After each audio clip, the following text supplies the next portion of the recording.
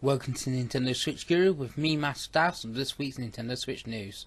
A rather quiet uh, week for Nintendo Switch news. Our first bit of news, though, is on April 28th, the same day as Mario Kart 8 Deluxe and Constructor HD, Puyo Puyo Tetris will be coming out to Nintendo Switch in Europe on the April 28th on download and physical release. Other bit of news is the FIFA that has been confirmed for Switch will be FIFA 18 and it will be a custom built version for the Nintendo Switch. And last bit of news is there is no plans to bring Final Fantasy 15 to the Nintendo Switch. Thanks for watching and we'll see you again for even more Nintendo Switch news.